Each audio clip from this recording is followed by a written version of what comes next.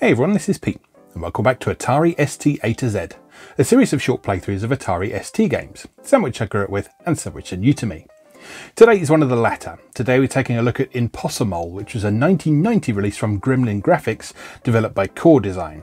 It's also got music by Barry Leitch, who's best known for his work on the Lotus Turbo Challenge and Top Gear games, which are developed in-house by Gremlin. Now, Impossamole is part of the Monty Mole series, which is primarily associated with 8-bit platforms. It started back in 1984 with a game developed by Tony Crowther, inspired by the miners' strike, and Impossamole is the sixth game in the series, and the last to be developed uh, back in the day, as it were. There was a seventh installment in 2013 called Monty Revenge of the Mole, and this sprang from a game design competition in British schools. Proceeds from it went to the charity Special Effect. Uh, but yeah, this was the last of the mainline Monty Mole games, if you like. So let's go play Impossamole. Okay, here we are with Impossamole from Gremlin Graphics. It took a few attempts to get booting for some reason.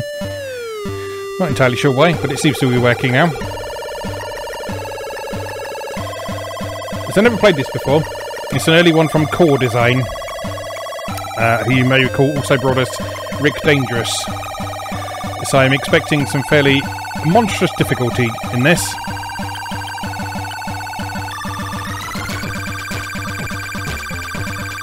Enjoying that Barry Leitch music already. Do we get it during the game though, is the question. Oh, we don't. That's a shame.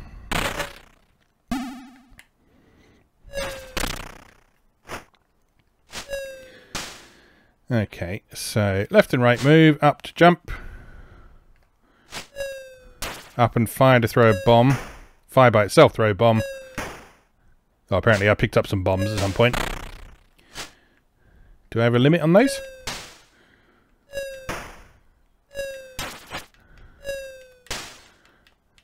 I can have one on screen at once, certainly. But it doesn't seem like there's actual... Oh, yes there is.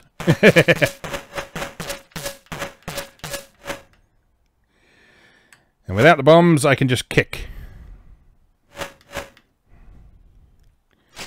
Which appears to be a largely useless means of attacking. Oh, it's not instant deaths. I approve of this.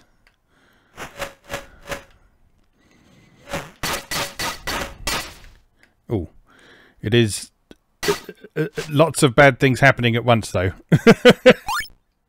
Points. Very nice. Can we kick him?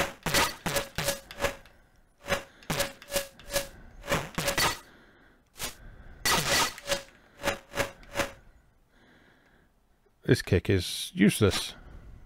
Well, that's health. Okay, so a barrel of oil increases your health.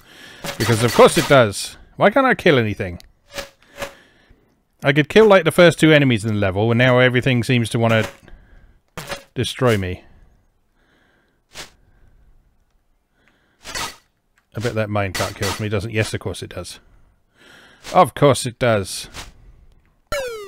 Whoops.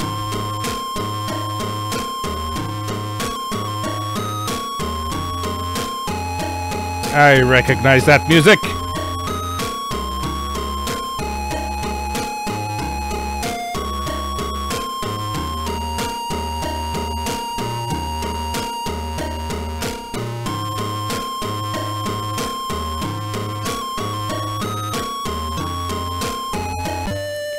I could be wrong, but I'm sure that was I'm sure that was a Rob Hubbard composition originally. For I want to say Commando? I think it was used in quite a few games. But Evidently, given that it's it's it's here. but definitely familiar. And definitely not Barry Leitch's original work, I feel.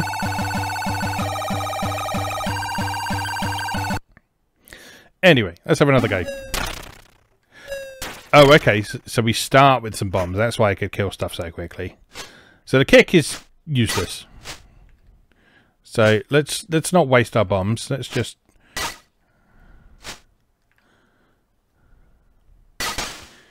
avoid these bad boys as best we can. Get some health back and immediately lose it. Very good.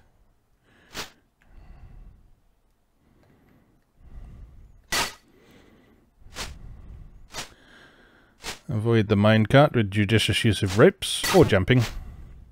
Ropes would have been better. Ropes.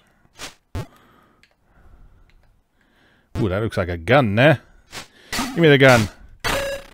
That's not a gun, that's a that's a laser bazooka. Not a very powerful laser bazooka.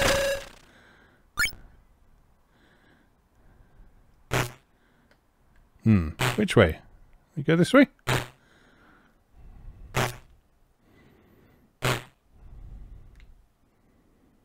We can go this way. There's stuff.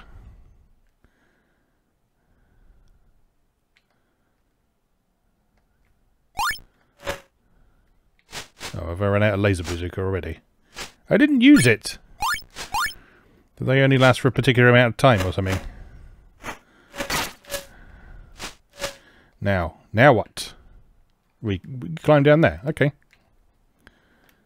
I don't... No, we can't get through there. Have we got an open structure 2D platformer on our hands? Because it certainly looks like we have. Stop it.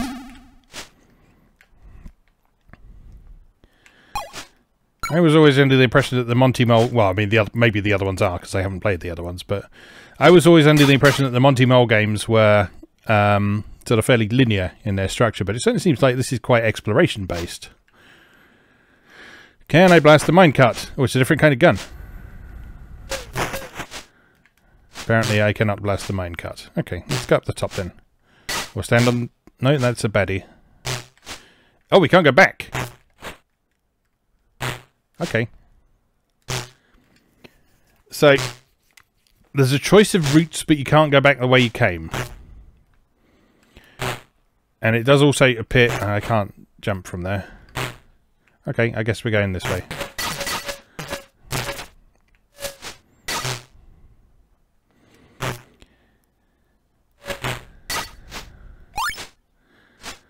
So once you pick a route, you have to commit to it, but there is a choice of routes to go through. That's an interesting approach. Stop that.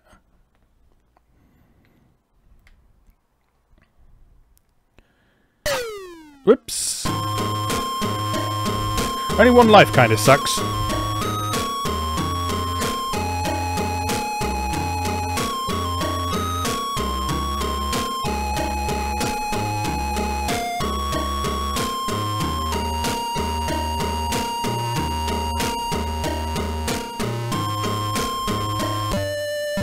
I gotta confess though, this is actually a bit better than I was expecting. Because I know the Monty Mole games are regarded as classics on the 8-bit,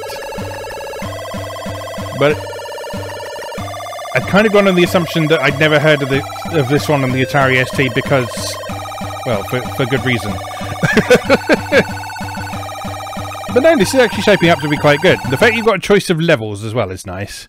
So let's explore this one, which is the Orient. Ow. Into shit.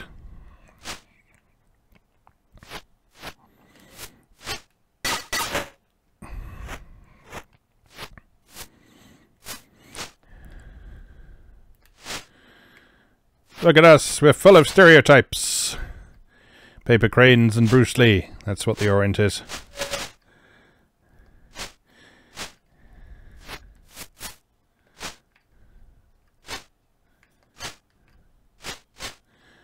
I like this um, this ability to sort of grapple up platforms. That's quite neat.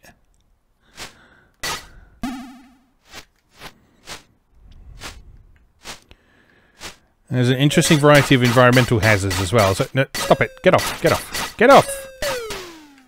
Well, that went well, didn't it?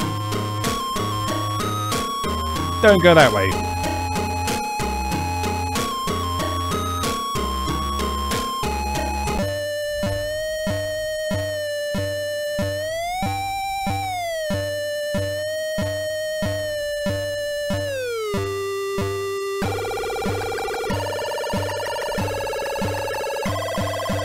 Let's try that again.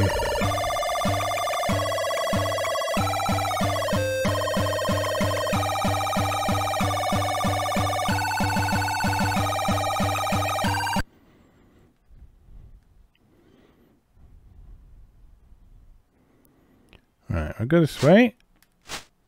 That dude there is gonna poke us in the bum, isn't he? So... Oh well. Only got poked once. So that's fine.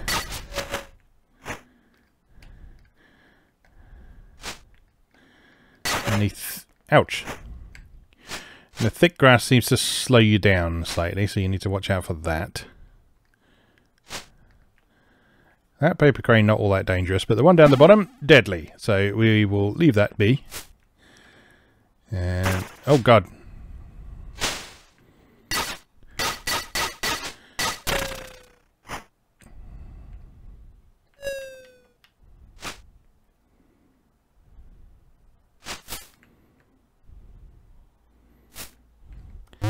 Oh, it's a ninja. I thought, it, I thought it was something much more inappropriate for a moment, but thankfully, thankfully it is not.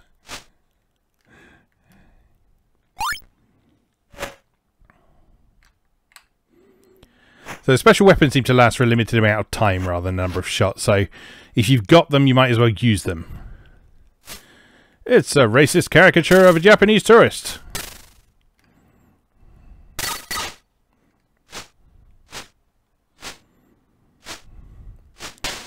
Ah, the 90s. What is that?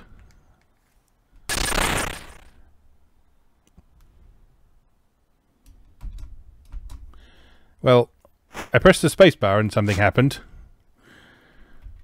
It didn't seem to consume any of my little S icons, but uh,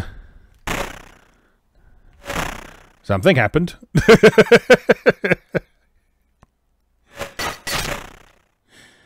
Okay, you can kick the cranes. That's worth remembering. Right, let him do his thing.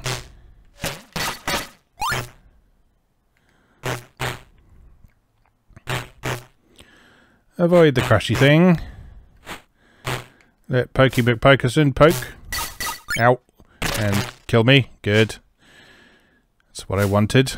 Can I stand in the cloud? No. It's fine. I didn't want to anyway.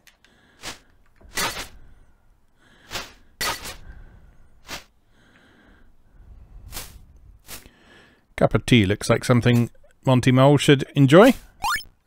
Doesn't restore his health, though. I feel like it should restore his health.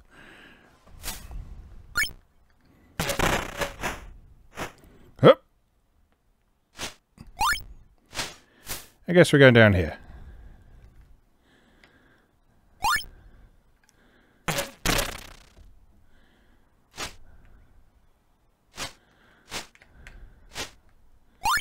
This is actually a pretty decent little platformer. Like I say, I was I was sort of expecting the worst for various reasons. But uh, no, I've been quite pleasantly surprised so far. Now, interestingly, if you like what you see here, um, a little while back, uh, Piko Interactive released an Atari Jaguar port of, of this version, of the Atari ST version. So if you like what you're seeing here, you can actually play it on the Atari Jaguar for a double dose of obscure Atari nonsense. Oh dear. Yeah, for a double dose of obscure Atari nonsense, you can play this version of Impossamole on the Atari Jaguar on an actual physical cartridge with a box and a manual and everything.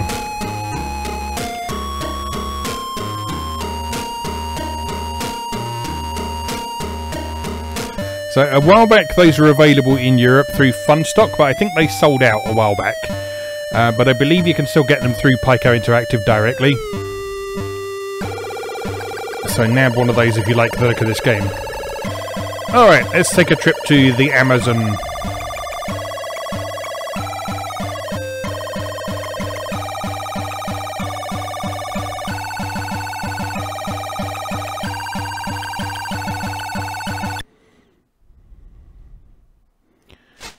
nighttime in the Amazon. And there's fruit everywhere because jungle. Can we climb up the pole? No, we can't climb up the pole. Spiky spears.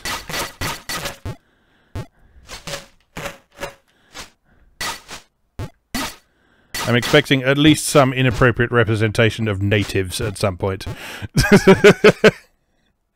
oh. Yeah, you got it. And up. Well, it's mostly wildlife so far, so we, we might be pleasantly surprised. You never know.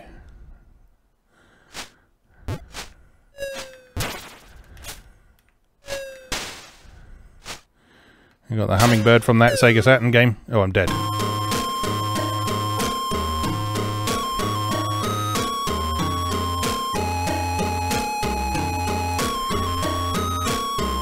What was the hummingbird shooter map called? I can never remember. I just remember it often being joked about as the, the best hummingbird based shooter map you can play. anyway, let's give that another go.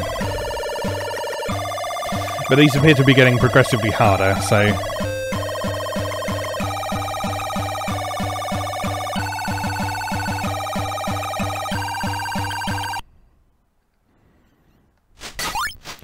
Give me banana. Give me hope. Banana, give me hope. Stop that. Stop that. Stop it. You've taken so much of my health already. Float. Thank you.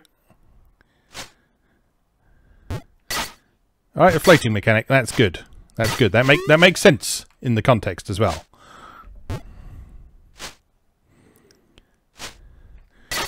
A bit of slowdown going on on this level. There is quite a lot of background detail going on, but it, I don't know, the ST should be able to handle this sort of thing without too much difficulty.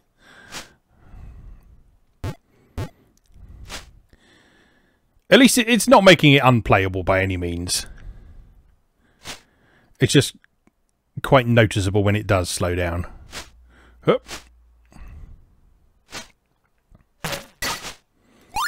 Grapes! A bazooka thing. You're gonna kill me. Stop killing me! And or give me some help. Oh, I'm dead. This is really hard. this is more in line with what I was expecting.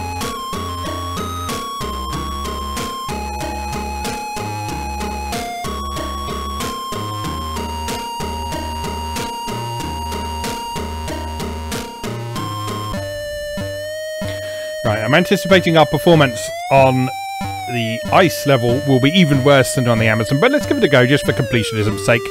It looks like the Bermuda Triangle stage only opens up when you've finished all the other ones.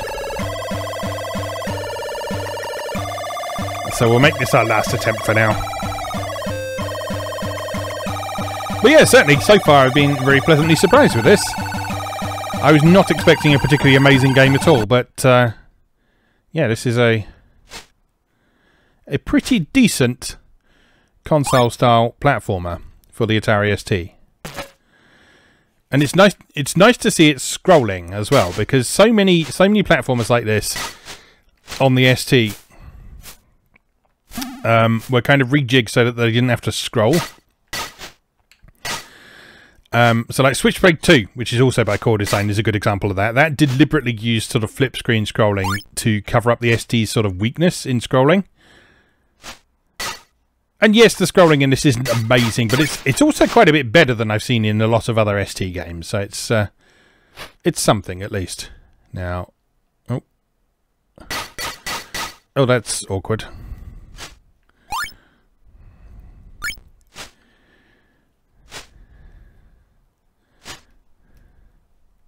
Oh no! Oh, slippery, slippery, death. You know what? I'm not even mad. I'm not even mad because there's an interesting variety of level gimmicks in this. The level designs are varied. Lots of different things to do, and you can try all of those different levels right from the outset. I haven't unlocked anything or got any save games or anything on this. You could just try any of those four levels from the outset. So if you're getting frustrated with one, you can just pick up and try another one. Um, until you can make it through all of them. yeah, good job. I'm I'm more impressed with that than I was expecting to be. Don't know if I'm going to return to it, but certainly, certainly I don't regret having spent my time with that. And like I say, there is that Atari Jaguar version as well, which I do actually own a copy of, so I will spend some time with that at some point. At some point, I want to spend some decent time doing some Atari Jaguar videos on this channel. Um, haven't decided when or how I'm going to do that yet, uh, but it will happen at some point, and as part of that, um, we'll take a look at Impossamole and see how it is. But anyway, we'll leave that there for now. This was the Atari ST version. This is excellent Barry Leitch music here. But yes, anyway, as much as I'd like to sit and listen to Barry Leitch all day, uh, we'll leave that there for now. As always, thank you very much for watching, and I'll see you again next time.